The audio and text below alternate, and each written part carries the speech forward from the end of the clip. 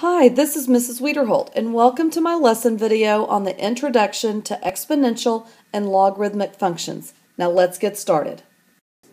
During this lesson, we will be utilizing the TI-84 calculator. First, we are going to plot the graph of an exponential function. I will use the color red, but you may use another color if you'd like. Using your TI calculator, enter 10 to the x power on the y equals screen.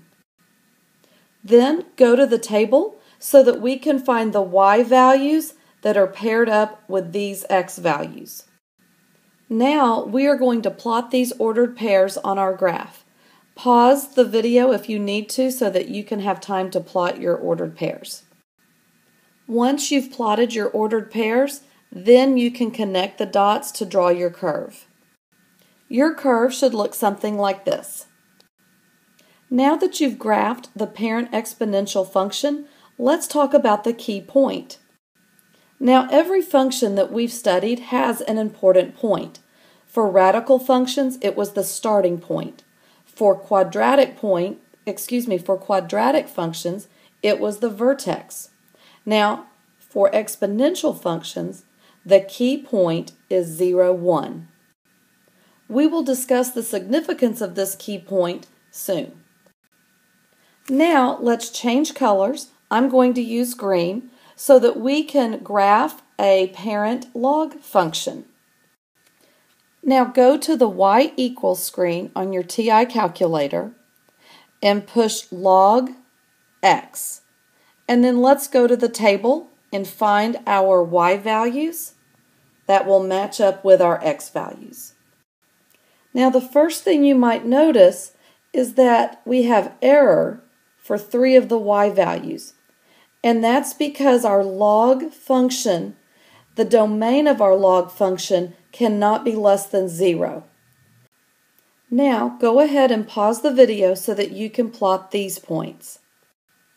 Your points should look something like mine, and so now go ahead and connect your dots to complete your curve.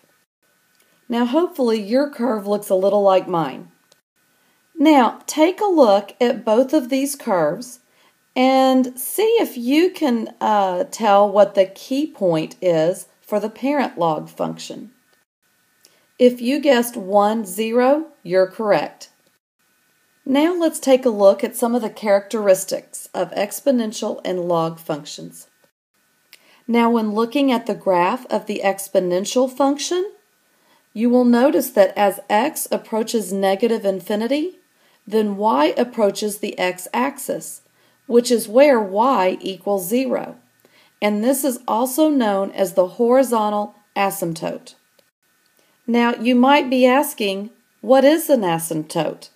Well, an asymptote is an invisible line that your graph or curve never crosses or touches.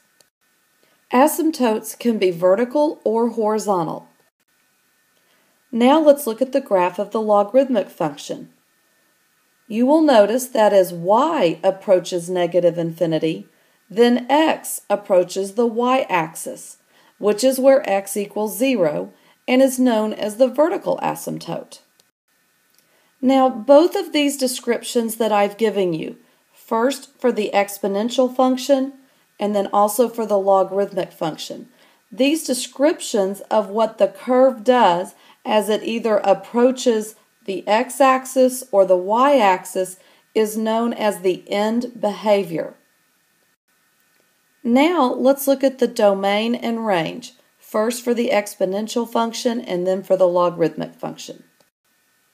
Now if you look at the graph of the exponential function, you will see that the domain goes from negative infinity to positive infinity or you can use the symbol for all real numbers.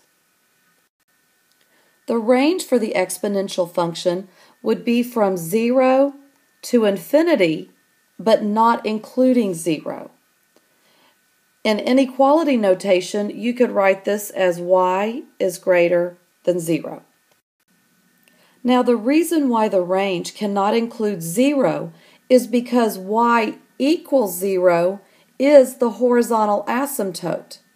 And remember, by definition, the asymptote is this invisible line that your graph or your curve cannot cross or touch. Now let's go back and let's look at the graph of our logarithmic function so that we can see the domain for this function. Our domain for the log function will be from 0 to infinity, but it will not include 0. And you can also express this as x is greater than 0. Now for the log function, the reason why the x, or excuse me, the reason why the domain cannot include 0 is because x equals 0 is the vertical asymptote. And remember, the asymptote is the invisible line that your curve can never cross or touch. Now the range for the log function will extend from negative infinity to positive infinity. Now let's look at the line y equals x on the graph above or on the previous slide. Now remember, y equals x is the parent linear function.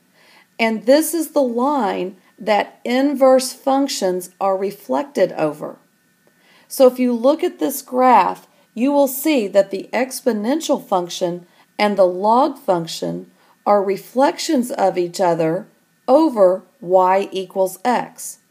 And so this means that exponential and log functions are inverse functions.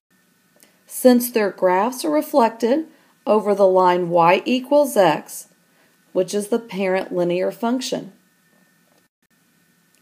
If point AB is a point on the exponential graph, then point BA is a point on the logarithmic graph.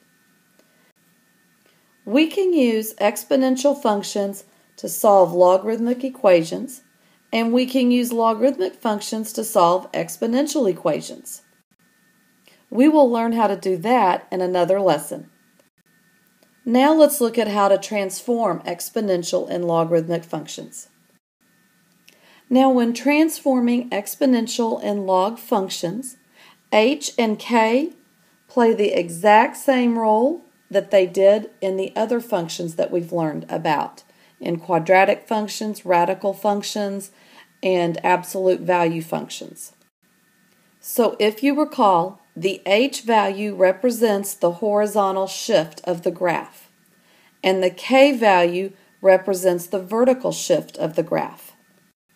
Now, if you remember at the beginning of this video lesson, I told you that I would give you more detail about the key point of 0, 1. This key point will be the basis for any shifting that we do. For example, if I want to shift the graph to the left 4 units, it's this key point that I will plot first, and then I can plot the rest of the curve. Likewise, if I want to shift this graph, this function up four units, it's the key point that I move, and then I can draw the rest of the graph. Let's look at some examples.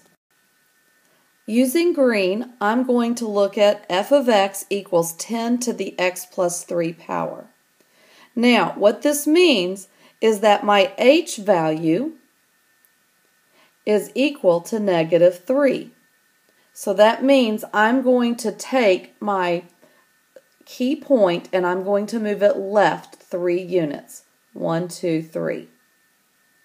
And from this point, that is where I will plot my new graph. Now basically, the equation for the asymptote will be y equals, and it will be the k value. And in this case, there is no k value, so it's 0. Now remember what we're saying is that this curve, this green curve right here, although it's as it continues going towards negative infinity, it is continually getting closer and closer to y equals 0. But because y equals 0 is the asymptote, it will never touch y equals 0. Now let's look at another example, and I'll do it in blue. So I have f of x equals 10 to the x power plus 3. Now, since there is no other exponent with the x, that means that the h is 0. And I have a k value of positive 3. What this means is that I will not be shifting my graph, my parent function. I will not be shifting it to the left or to the right. I will only be shifting it up three units. So again, I start with the key point, and it's from the key point that I will go up to three units, which puts me at 0, 4. So now I'm ready to draw my curve. And it'll look something like that. The equation for this asymptote will be y equals 3. And again, what that means is that this line right here, even though it approaches y equals 3, it will never touch or go below y equals 3. Now let's look at a third example where we have an h and a k value other than 0. So here I have an h value of negative 3 and I have a k value of positive 3. So I start from the key point. I am going to go left 3 units and then I'm going to go up 3 units. And that will put my point right there. And so now I can draw the rest of my curve. And it'll look something like that. My equation for my asymptote, again on this one, will be y equals 3. Now let's look at the equation for transforming our log function. Now the h value is going to be in the parentheses with the x, and then the k value will be after the parentheses. So now let's look at our first example. I'll do it in green. Now I have f of x equals log of x plus 4. Now, just like with the exponential, we will do our shifting from the key point. Since h is negative 4, we will go to the left 4 units from the key point. So that will be left 2, 3, 4, and that'll put us right there at negative 3, 0. That's our new key point. Now it's from here that I can draw my curve. I'll do the best I can. Now, remember our equation for our asymptote, this time it's not going to be y equals, it's going to be x equals because see, this is the invisible line that our curve will never cross. So our equation will be an x equals and it will be the h value. So our asymptote equation will be x equals negative 4. Now let's do our second example. I'll do it in blue. We have f of x equals the log of x plus 4. Now here we do not have an h value, so h equals 0, and our k value equals 4. So now I will start at the key point, which is 1, 0, and I will go up four points. One, two, three, four. And there is my new key point. It is from here that I will try to draw the best graph I can draw. Now I'm ready to write the equation for my asymptote. It will be x equals the h value, which is x equals 0. Now let's move to our third example for transforming a log function. And I will do it in purple.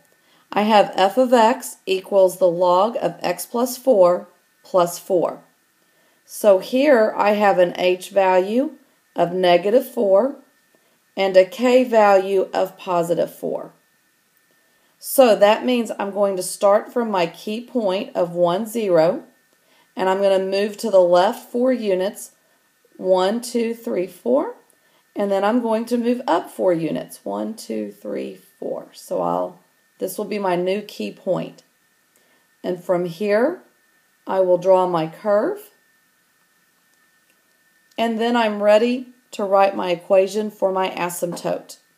In this case, it will be x equals negative 4. Here we have two more examples. Number three is transforming an exponential function, and number four is transforming a log function. Now I'd like for you to pause the video and see if you can transform these on your own. Once you're done, play the video and then see if you got them right. So, how did you do? Some of the main things that I hope you learned from this lesson today is that exponential functions and log functions are inverses of each other. Also, it is important to know that all shifting, all transformations begin at the key point. H's, your H values, shift your graph horizontally. Your K values shift your graph vertically. You also need to remember that there are asymptotes, and asymptotes are lines, invisible lines, that your curve cannot touch or cross. I hope this video has helped you learn a little bit about exponential and log functions, and I look forward to working with you again. Bye bye.